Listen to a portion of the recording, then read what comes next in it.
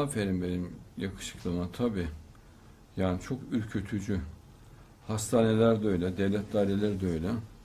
Halbuki ya fazla pahalıya mal olan bir şey de değil tablo.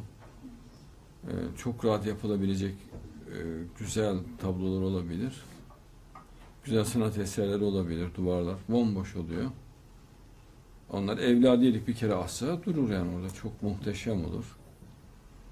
E, gelenin gidenin içi açılır.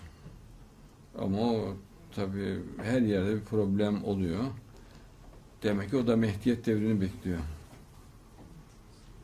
Evet dinliyorum. Irak Kürt bölgesi